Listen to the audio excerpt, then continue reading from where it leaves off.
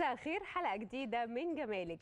على فكرة آه، مش بس الجمال اللي بيخص الراجل و- أو بيخص الست الجمال بيخص كل شاب وشابة وشابة كل عروسة وكل عريس كل أم عروسة وكل أم عريس. آه، عشان كده إحنا دايما بنهتم بالتفاصيل تفاصيل صغيرة جدا لكن بتفرق في جمال البشرة بالذات. كتير قوي بيبقى عندنا مشاكل بنبقى مش عارفين هل يا ترى أنا لو استعملت الحل ده أحسن ولا الحل ده. مين اللي يقول لنا كده؟ مش مراكز التجميل العيادات المتخصصة والدكاترة المتخصصين هم اللي بيقولوا لنا إيه أحدث الطرق اللي موجودة اللي تخلينا نعالج المشكلة ويا ترى الحل ده أحسن ولا الجهاز ده أحسن ولا ال- المادة بتاعه الحقن دي أحسن؟ دي برضو آه، حاجة مهمة إن أنا أبقى عارفة إيه اللي يناسب بشرتي. طبعا في بشرة دهنية بشرة آه، جافة كل بشرة بيناسبها شكل معين وكل عمر بيناسبه طريقة علاج معينة وسواء انت سمراء أو فاتحة كل مشاكل البشرة كل الطرق الجديدة اللي موجودة إيه اللي بيناسبني؟ ده اللي هنعرف النهارده الأسرار الحاجات دي كلها من دكتورة جاكلين صبحي أخصائي الجلدية والليزر بعيادات نبض. مساء الخير يا دكتور. مساء النور منورة. زينب. ده نورك. آه، قبل ما أبتدي الأسئلة مع دكتورة جاكلين أحب أفكركم بصفحتنا على الفيسبوك وأحب إن أنتوا تشاركونا الحلقة تبعتوا الأسئلة ودكتورة جاكلين بتجاوب على كل الأسئلة وإحنا مع بعض على الهوا. آه، دي الصفحة ودي صفحتنا الوحيدة. آه، حتى العروض بتقدروا تعرفوها من خلال الصفحة دي. كمان النمر اللي ظهرت قدامكم واللي هتظهر دلوقتي برضو على الشاشة آه، آه، هي دي الأرقام آه، بتاعة الكول سنتر الأرقام دي من خلالها تقدروا تعرفوا العروض بتاعه عيادات نبض. آه، عيادات نبض بقت آه، موجودة في كل مكان وكمان بقى في فرع في المنصورة آه، وفي في اسكندرية وطنطا غير فروع القاهرة والتجمع والشيخ زايد في كل حتة. يعني بنحاول نو- نوصل لكم في كل مكان. دكتورة جاكلين إحنا كتير بقى بنسمع عن موضوع التقشير نعم. في حتى البنات الصغيرين بتبقى مهتمة أكتر إنها تعرف عن موضوع التقشير بتكلم وإنتي داخلة لسه بقى إيه مرحلة إن أنا أبقى داخلة ال- الجامعة لسه. إيه يعني إيه تقشير بشرة؟ وهل فعلا التقشير ده حاجة مناسبة حاجة فعلا بتوحد اللون؟ إيه يعني إيه اقشر بشرتي؟ يعني إيه همشي هقعد في البيت ولا هنزل؟ ولا إيه سبب اللي بيخليني أصلا أعمل تقشير آه هو زي ما حضرتك قلتي كده فعلا الفئات العمرية الصغيرة شوية هي اللي بتبدأ تفكر في التقشير لأن ده من أوائل وبدايات العلاج العلاجات يعني أو مش هقدر أقول عليه علاج قد ما هو تجنب كمان لمشاكل كتير مم. إحنا لو بدأنا نعمل تقشير لبشرتنا من وإحنا في سن صغير ده هيخلينا نتجنب إن إحنا يظهر عندنا حاجات مشاكل كتير بعد كده لما نكبر زي التجاعيد زي التصبغات ال age spots اللي هي ال- البقع أو التصبغات اللي بتظهر بعد كده لما بنكبر في السن فعلا أنا كنت فاكرة إن التقشير ده بس عشان خاطر البقع أو الناس اللي هي الشمس. بتأثر فيها. ما كنتش أعرف إنها بتمنع تجاعيد لا كمان. كمان بتمنع التجاعيد لأن فكرة التقشير حاجة من اتنين. اولا هي بتديكي بشرة جديدة خالص لأن هي بتشيل طبقة من الجلد كاملة بكل المشاكل اللي فيها. كمان هي بتحفز تكوين جلد جديد. تحفيز جلد كوي... تكوين جلد جديد ده معناه إن إحنا كمان بنحفز الكولاجين اللي موجود في جسمنا. فكمان لو في fine wrinkles التجاعيد الخفيفة اللي هي في الفئة العمرية اللي إحنا بنتكلم عنها اللي هي فئة دخول الجامعة أو بعد الجامعة على طول ده سن صغير لسه التجاعيد ما بقتش غائرة شوية وعميقة. في الحالة دي التقشير بيبقى حلو قوي عشان آه، يحفز الكولاجين اللي موجود في جسمنا إن عشان التجاعيد الخفيفة دي تروح. يحفز الكولاجين يعني هيديني نضارة؟ جدا جدا. okay. إحنا بشرتنا بتجهد طبعا على مدار ال- السنة كلها مع التعرض للشمس مع ال life style ال stressful البنات اللي بتخرج كل يوم وبتتعرض للأتربة كل الحاجات دي بتخلي بشرتها تبقى بهتانة تبقى مرهقة طول الوقت. فكرة التقشير بقى إن إحنا بنشيل الطبقة دي تماما كل الطبقة المجهدة اللي تعرضت لكل الحاجات دي وطبقه جديدة تماما زي ما إحنا شايفين كده. لو انت لاحظتي فرق اللون بين الجلد اللي إحنا شلناه. والجلد الجديد ده جلد زي هنرجعه لخلقة ده؟ ربنا بيبي سكين لا لا ثانية واحدة. هو اللي, اللي فوق يعني ده آه، دي الجزء صورة- ده الأبيض ده بعد ما قشرنا وهي كانت مبطشة كده في الأول بالظبط يعني, آه. يعني الصورة دي أكتر صورة توضح إحنا بنكون فين وبنبقى فين مم. إن تصبغ الغمقان اللي موجود في الإيد حتى ملمس الإيد نفسها بعد التقشير طبعا ده بينطبق على كل أجزاء الجسم مم. يعني أنا مش بس بتكلم أنا بس بتكلم إن هو كمان ينفع لبقية أجزاء الجسم لل... للإيدين برضو لأنها بتتعرض للشمس لمناطق زي الرقبة مثلا ال sensitive areas كل المناطق دي ال knees ال- البنات برضو اللي عندهم الركبة بتبقى غامقة شوية من الصلاة. آه في ناس من الصلاة فعلا بتبقى مظبوط. عندها. آه آه، دي القشرة ال- اللي بنحصل عليها بعد التقشير آه ده وقتي كده في آه وقتها يعني دي القشرة اللي بتقع من جلدنا. زي ما بقول لك كده طبقة من الجلد كاملة أنا مش بتتقشر. مصدقة تخيلي. magic بصراحة. أنا يعني أنا بعتبر التقشير ده من الحاجات اللي بتخلصنا من أي مشكلة ايا كانت في خلال أيام. انت عارفة كمان في آه، ستات كتير بت بتهمل في نفسها جدا وما بتقدرش إن هي تستعمل ال- الجان وهي يعني أو الجوانتي وهي بت في. المطبخ. آه. يا خبر ده ده ده ده إيه؟ ده آثار حب شباب؟ آه دي آه، عندها اكتف اكني وعندها كمان الآثار يعني عندها حبوب نشطه آه، وعندها كمان آثار حب الشباب اللي هي بتبقى في صورة post acne scars أو الحفر ال- الصغيرة اللي بتبقى ندبات آه صغننة كده الندبات يعني. الصغيرة اللي بتبقى okay. موجودة في البشرة نتيجه حب الشباب. دي برضو إحنا استخدمنا معاها نوع تاني بس من التقشير يعني التقشير الأولاني ده أنا بشيل طبقة كاملة من الجلد بال chemical peeling أو يعني عشان برضو ال chemical peeling دي يندرج تحتها حاجات كتير فهي حاجات معينة وحاجات متخصصة مش أي حاجة عشان مش البنات اللي بتروح الصيدلية تقول له أنا عايزة أقشر. آه. فيديها حاجة تقشر وخلاص وبلاقي بعد كده مشاكل جاية لي burn حروق والتهابات. فلأ لازم تبقي عارفة كويس الت- التقشير اللي يناسب بشرتك البشرة الفاتحة غير الغامقة. آه انت محتاجة تقشير يعمل إيه بالظبط؟ فبرضو ال- الصورة اللي إحنا شفناها دي كانت تقشير بال fractional laser ما أنا كنت عايزة أسألك برضو هل في أنواع للتقشير بس برضو طبعاً. يعني إحنا شفنا ال- التقشير على الإيدين ال- البنات أو الستات اللي هي ما بتعرفش تلبس جوانتي جوه المطبخ وبعد شوية بتلاقي إيديكي بقى فيها أكتر من لون وخصوصا عند العقل يعني آه، يعني لو آه. دخلتي رحتي عملتي موضوع التقشير ده ترجع إيديكي آه، جميلة وكمان بقى ترجعي تستعملي الجوانتي مش كده؟ يا ريت يا ريت إحنا بعد ما نستعمل بس يعني نخلص جلسات التقشير بتاعتنا نحافظ على النتيجة النتيجة بتبقى هايلة. هو بيرجع لك بشرتك لطبيعتها. يعني الناس برضو ال- اللي في السواقة بنلاقي دايما فرق بين ايدينا اليمين وايدينا الشمال. الناس اللي بتمسك الدركسيون طبعا يعني هم لو حطوا sun block على وشهم يبقى كويس قوي بننسى الإيدين. أيوه صح. فنلاقي بعد كده فرق لون بين ايدينا دي وايدينا دي بنلاقي إنه الإيد بقت غامقة. وشكلها مزعج. فطبعا آه، التقشير زي ما إحنا شفنا كده التقشير نشيل الطبقة دي تماما نرجع طبقة لون جلدك الأصلي ده هيبقى حلو قوي طب إيه أنواع التقشير هل التقشير ده بيفرق آه، حسب نوع الجلد ولا حسب المرحلة العمرية ولا بيفرق في إيه؟ بيفرق حسب حاجات كتيرة قوي دي إيه هي أنا اللي بحددها. يعني إحنا مثلا بنحدد إيه المشكلة اللي قدامنا؟ هل هي تصبغات ولا post acne scars الندبات الناتجه عن حب الشباب زي ما إحنا قلنا أو حبوب نشطه زي اللي إحنا شفناها.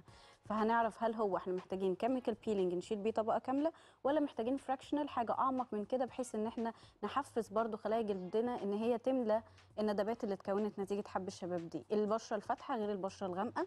الغامقة لازم نكون آه، حريصين جدا معاها لأنها عرضة أكتر. للحرق. فدي حاجات برضو أنا لما بشوفها بحدد. طيب. ده جهاز ال fractional laser ده اسمه fractional laser وده آه. أكتر حاجة بتستعمليها في إيه؟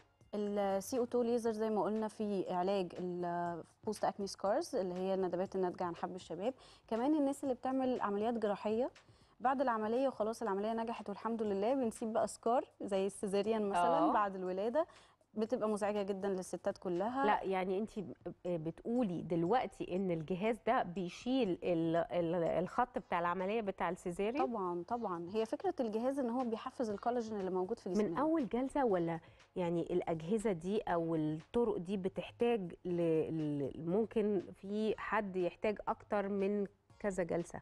طبعا. حسب الحالة. يعني أنا لو عندي scar عالية قوي ممكن أحتاج إن أنا أستخدم جلسة ممكن اتنين حسب برضو استجابة جسمنا وحسب الفئة العمرية. كل ما كنا أصغر كل ما كانت الاستجابة أحسن.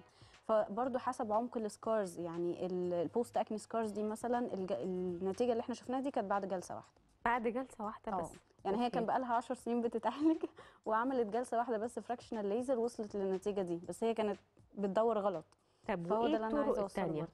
الطرق التانية من التقشير إحنا قلنا ال chemical peeling وقلنا ال fractional laser ال Q-switched laser برضو من الحاجات الحلوة جدا. ال chemical peeling دي بتبقى مواد معينة يعني بتعملي زي mask بيها؟ آه بالظبط. يعني آه. هو إحنا ال- ال- ال- ال peeling اللي إحنا بنستعمله هو 3 steps كل خطوة كل خطوة من ال chemical ده آه، من التقشير ده مسؤولة عن حاجة معينة.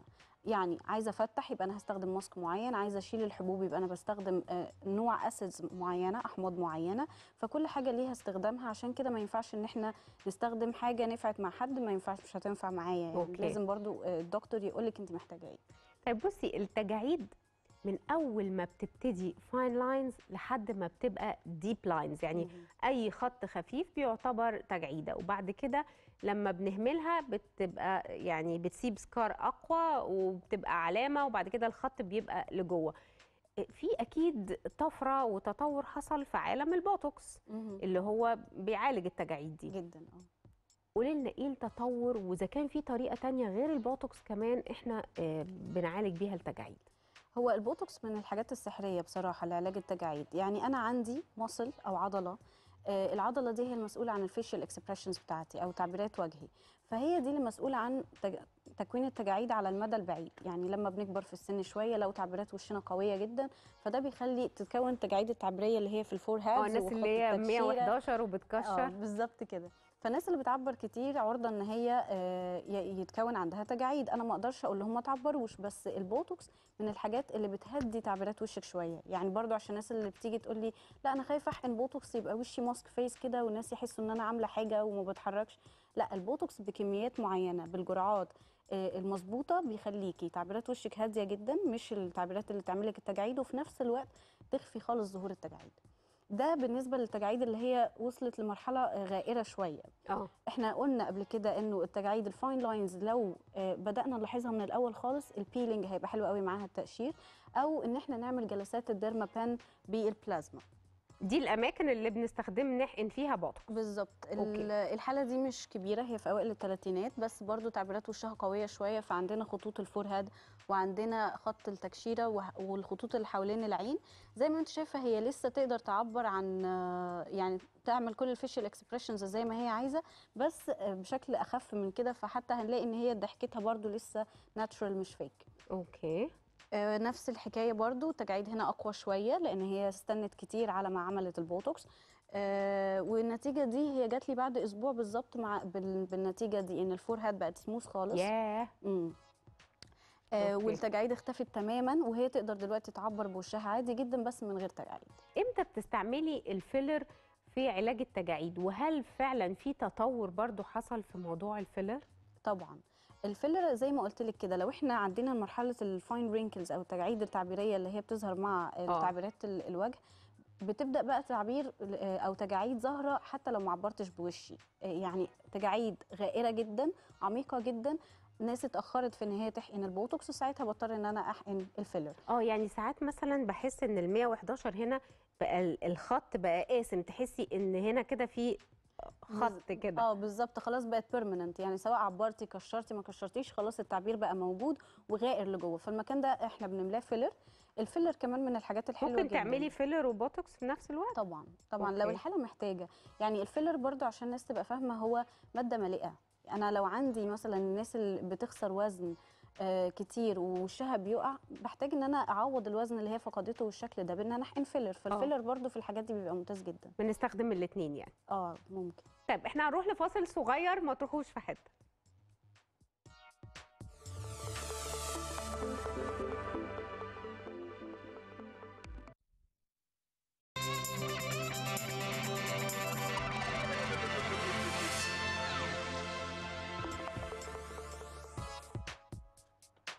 لسه مكملين. قبل الفاصل كنا بنتكلم على التجاعيد.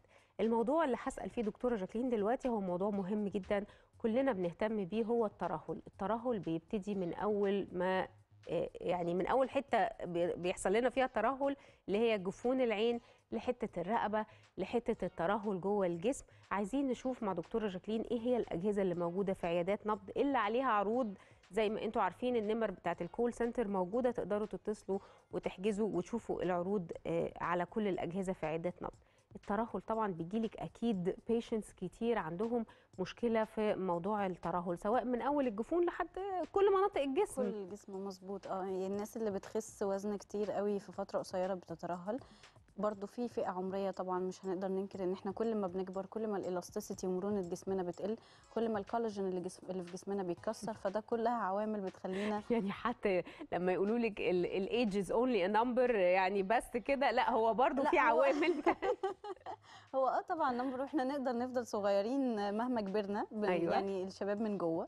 آه وبرضه نقدر نحافظ على شكلنا إن إحنا نفضل صغيرين. آه لو بدأنا نعالج الحاجات اللي بتخلينا نب- نبان كبار. فسهل قوي إن إحنا نوصل لشكل مثلا أصغر من سننا ب 20 سنة لو حافظنا من الأول خالص. مشكلة الترهل آه زي ما انت قلتي كده لو بدأنا من فوق خالص مشكلة ترهل الجفون دي لا أنا بشوفها في فئات عمرية صغيرة لأن هي في عامل وراثي منها ال double eyelid أو إنه في تانية كده في الجلد ال- ال fold اللي موجود هنا ده ده بيبقى موجود في سن من 20 سنة وإحنا يعني بنشتغل حالات من 20 سنة. آه، الفكرة فيها إيه؟ زمان إحنا كنا بنعمل جراحة على طول ما كانش في بدايل. دلوقتي في جهاز أنا بعتبره طفرة طبعا آه، هو بقاله فترة وإحنا شغالين بيه جهاز ال plasma jet آه. جهاز ال plasma jet من الحاجات اللي بتشد الجلد في المنطقة دي تماما ومن جلسة واحدة آه، بيحتاج down time إن هي بس تفضل في البيت أو أثر شوية يعني ده بديل العملية ال- الجراحية اللي كل الناس بتخاف من الجراحة فده بديل ليها. بالظبط. هو كأنك عملتي العملية بالظبط بس من غير أوضة العمليات من غير ال- التخدير ومن غير كمان ال scar الناتجة عن العملية ال- الجراحية. بس النتيجة بتبان بعد قد إيه؟ يعني أنا لما بعمل أستعمل الجهاز ده النتيجة بتبان وقتي ولا بعد مثلا يعني مرور وقت تبتدي بقى الحتة دي تتشال خالص تبقى مش موجودة. آه هو وأنا شغالة عشان أبقى صريحة برضو وأنا شغالة أنا بشوف النتيجة قدامي أنا بشوف التغير اللي بيحصل في الجلد قدامي وال skin tightening اللي بيحصل قدامي. بس لأن الجهاز بيحتاج إنه برضو بيسيب نقط بني زيه زي ال fractional laser مثلا لأنه جهاز في الآخر هو جهاز ليزر بيحفز الكولاجين اللي موجود. فمحتاجين بس خمس أيام. القشرة دي على ما تقشر وتقع خالص ويرجع شكل الجفن طبيعي ساعتها بنقدر نشوف نتيجة الجهاز. ده شكل الجهاز. ده شكل الجهاز. الجهاز صغير جدا زي ما انت شايفة يعني قد القلم بالظبط. فإن إحنا نستبدل جراحة وأوضة عمليات بجهاز صغير زي ده مش هياخد في السيشن بتاعته أكتر من تلت ساعة آه 25 دقيقة هيبقى حلو قوي. انت هنا استعملتيه؟ آه لأن الجهاز ده برضو زي ما قلت لك هو بيحفز الكولاجين اللي موجود في جسمنا ياه. بيحف- آه فالتجاعيد اللي هي مش مش expressions زي ما إحنا شايفين كده دي تجاعيد ثابتة ومش آه ليها علاقة بإن أنا بعبر بوشي في المنطقة دي خالص مم. دي ثابتة سواء عبرت أو ما عبرتش فالجهاز ده لما بنستخدمه في المنطقة دي بيحفز الجلد اللي موجود في المنطقة دي إن هو يطلع الكولاجين يجدد لي الخلايا اللي موجودة في المكان فبيشيل التجاعيد دي تماما يا أنا انت عارفة المنطقة دي فعلا وبتدي سن كبير طبعا سن كبير فعلا ال smokers line آه. آه يعني هي ليها حل طبعا بالبوتوكس بس ساعات برضو بتبقى خلاص permanent ومش مع ال- الحركة اللي هي ال blowing دي إن هي تظهر التجاعيد اللي حوالين الفم بقى خلاص يعني ده برضو بتستخدميه لل, لل... بلازما تحفة في الحالات دي. آه. فعلا لأن إحنا مش يعني الحاله دي مش بينفع معاها بوتوكس لأنها مش expressions مش حقن عضلة معينة. ففعلا ال smokers line في مع ال jet plasma بتختفي تماما. okay. طب ولو نزلنا بقى لبقية الترهل اللي في الجسم؟ امم ترهل الخدود بقى الناس اللي خست كتير والخد بدأ يقع وال jaw line بدأ يقع ال- ال- اللي عمل طفرة فعلا بقى ال HIFU.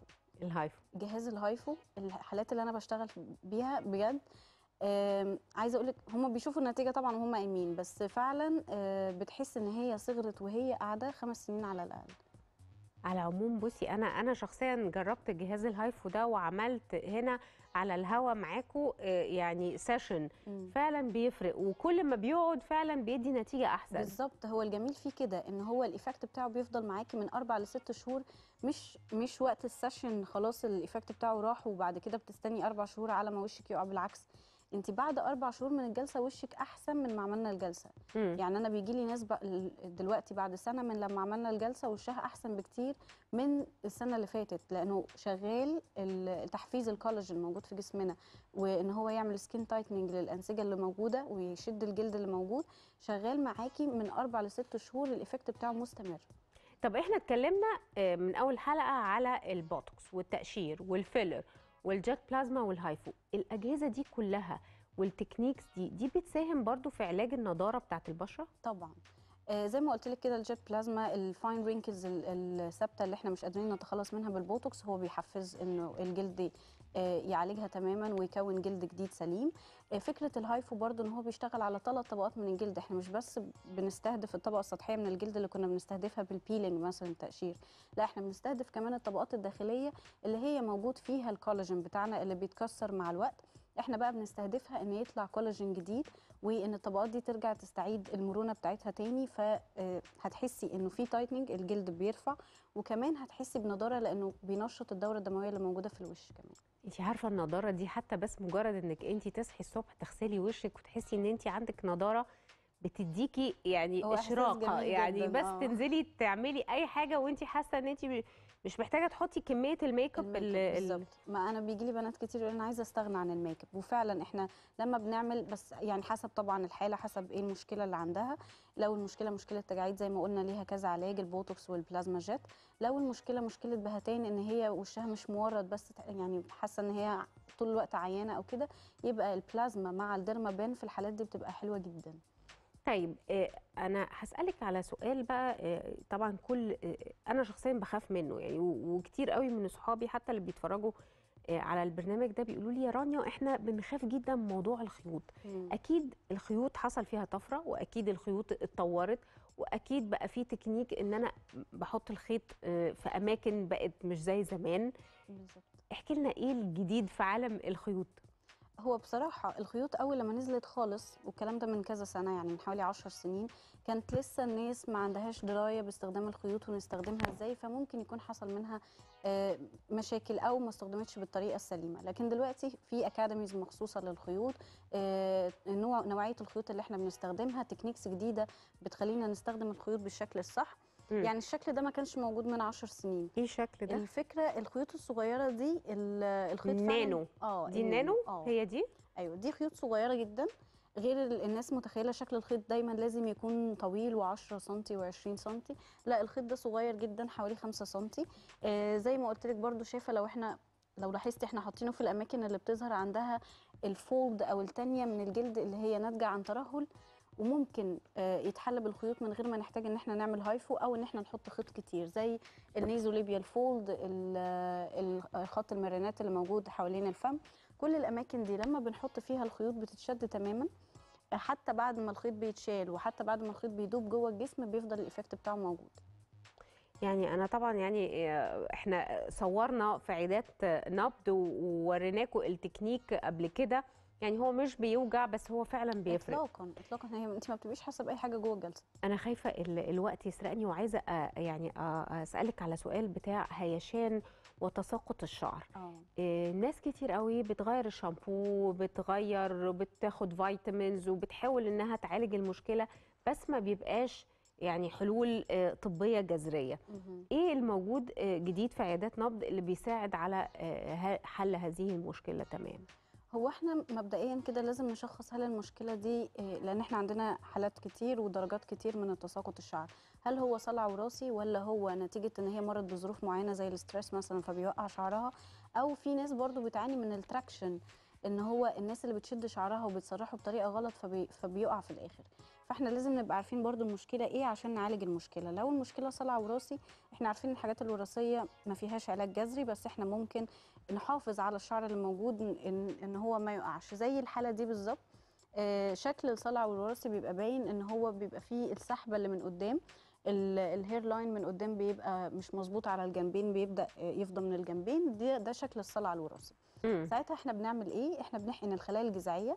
الخلايا الجذعية دي من الحاجات اللي بتحفز ال- التساقط يتوقف تماما وكمان بتكون بصيلات جديدة زي ما إحنا شايفين في الصورة دي إنه بدأ يتكون شعر جديد ويطلع شعر جديد اللي هي ال stem cell therapy أيوه.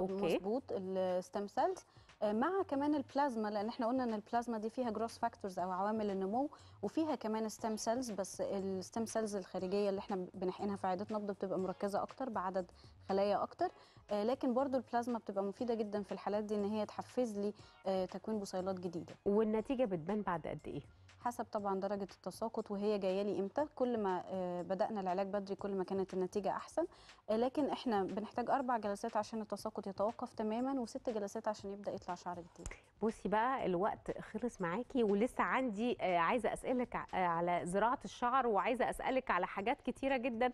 لكن قولي لي بسرعة جدا لو في عروض موجودة في عيادات نبض تحبي تقولي لنا عليها قبل ما نختم؟ هي المفاجأة بقى اللي أنا كنت مستنية أقولها لك انت بالذات عشان انت حبيبتنا طبعا إن إحنا عاملين skin و hair day يوم 10 فبراير إن شاء الله اللي جاي ده. skin و hair day يعني يوم لأي مشاكل علاج الشعر وكمان الحاجات الجلد. مظبوط. اليوم ده هيبقى حافل عندنا عروض كتيرة قوي ده فين؟ في الشيخ في زايد فرع الشيخ زايد. بس؟ بس. يا خسارة. يعني أنا عارفة إن إحنا لما بنعمله الناس بتطلب إن إحنا نكرره في كل الفروع فإن شاء الله يتكرر في كل الفروع. دكتورة جاكلين صبحي بشكرك جدا على وجودك معايا. بشكركم. بكرة الإعادة 12 ونص الظهر وبكرة حلقة جديدة من جمالك. إلى اللقاء. Thank you.